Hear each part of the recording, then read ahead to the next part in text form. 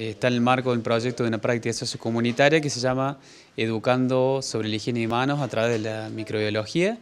Eh, y la idea es eh, mostrarle a los chicos de manera práctica qué ocurre con sus manos, ya que son las manos el principal vehículo eh, a través de los cuales ellos pueden contraer enfermedades respiratorias y, digestivas.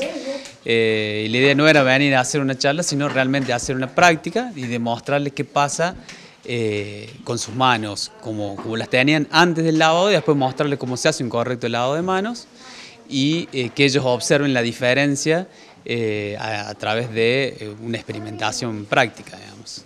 ¿Cuántos docentes y estudiantes de la universidad están participando en esta actividad? somos cuatro docentes y estudiantes entre porque fuimos a diferentes escuelas, centros comunitarios y demás, alrededor de 20. ¿Y cuál es la importancia de que la universidad se llegue a los barrios para hacer este tipo de charlas de concientización?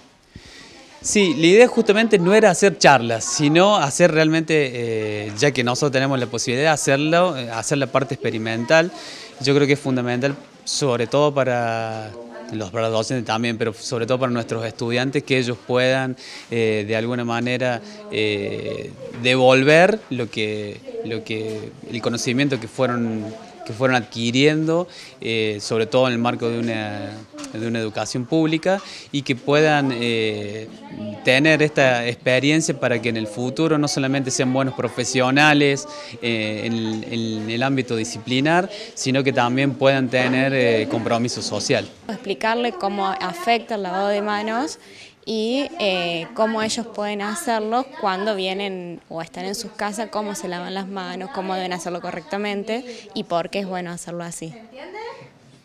¿Y qué te parece a vos realizar este tipo de experiencias? ¿Te parece que es algo importante que se incorporen las prácticas sociocomunitarias a las carreras?